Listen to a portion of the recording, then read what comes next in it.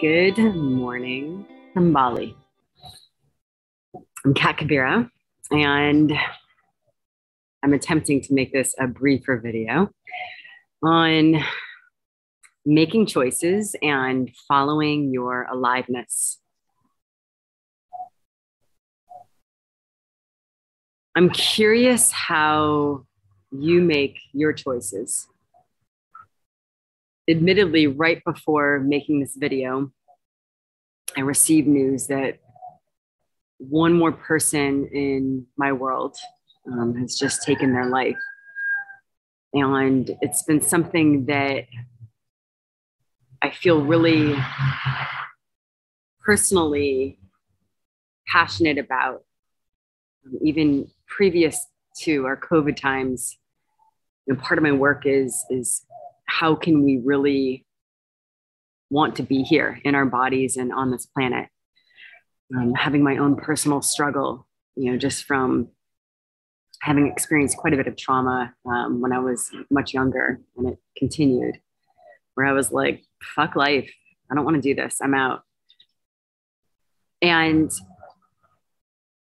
at the same time to feel this level of, of sparkle and enthusiasm and curiosity for life. And it does take some effort of we can almost forget who we really are and we all get down. There's no one who isn't insecure. There's no one who doesn't have rough times. There isn't anyone who thinks, how the fuck can I get through this? I'm out, I'm done. We all have our own coping mechanisms. We we can shut down, numb out, freeze out, you know, and then how do we get through this? How can we reclaim our essence? How can we start to find that, that thread of light, you know, despite how dark it is? And despite the, the level of pain that we, we either are currently experiencing or have experienced. So, you know, as usual, I could I could talk to you for weeks about this, but just one simple thing because sometimes when we're experiencing a shutdown in our life, or even we might go into a more like rigid pattern, like control, where it's like, okay, like here's my formula, here's my routine, and and like this is my schedule, this is my structure. Not even realizing that we might do this to create some safety, but it's not a real safety. It's it's more like a fear response and a rigid routine and if anyone has ever struggled with an eating disorder you know that's one of my specialties is, is working with that. Um, you know the the more anorectic personality or the more restrictive personality you know that that's that's one thing that we can do even if we're not acting out in our eating that way you know in our psychological response to life you know we can get really rigid and controlled. And that you know if we think about like when we're really in the essence of life, it's like allowing the surprise, allowing the spontaneity, allowing ourselves to be present enough where we can kind of just feel what's happening and, and follow that. And, and that's not to say that there are times where we make plans, right? But there's a very big difference between making plans and being fluid around it versus being really rigid. Um, the other way that we can be experiencing a shutdown is more like we're numbed out, we can't feel anything, we don't care about anything, and also where it's like we just don't want to do anything. Um, you know, I've got I've got some clients where it's just hard for them to leave the bed, you know, and and they just don't want to engage with life. Um, and it, and addictions can be another way where it's like I don't want to engage with what's here, I want to take something to somehow take me away or, or change the feeling and the experience. So, on a really simple level, because one thing that we all are confronted with or, or get the opportunity to work with every day is, is how we're making choices. And if you can kind of feel into your body, so of course that means you actually have to be in your body, which is a journey within itself. And uh, for those of you who've been working with your body, you'll know that like it's not like you're in and you're in, right? It's it's like oh, you know, I come in and out, and I get to witness that part of me. But how can you start to make choices that really are following the life force or the aliveness.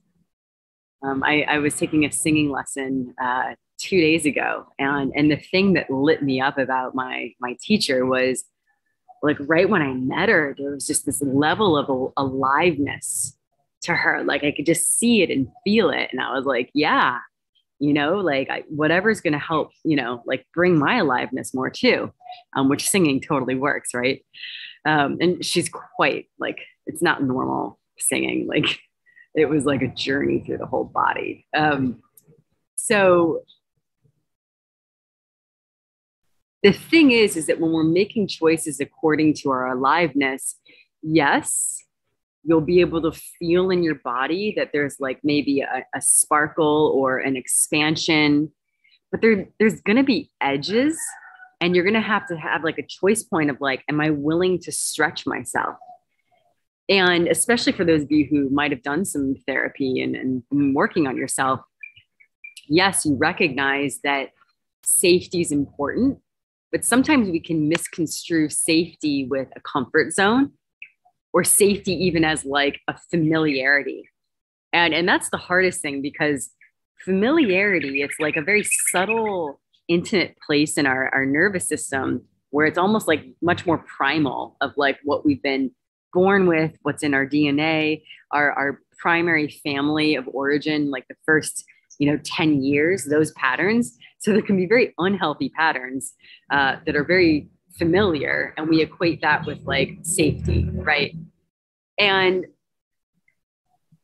the other thing about safety is that we'll think like, well, safety means like, oh, I'm, I'm in a box and I can control everything, or um, you know it, it's like everything is known and and while we might need to have like moments if we're in like a huge overwhelm or you know going on through a lot or really sick it's like yeah there's going to be a certain environment that we might need to repair and recuperate and nourish but in general we we want to be able to also be able to expand ourselves and and that means especially if we're almost going to be jumping our frequency from one level to the next where it's like okay, I'm going to stretch a little bit.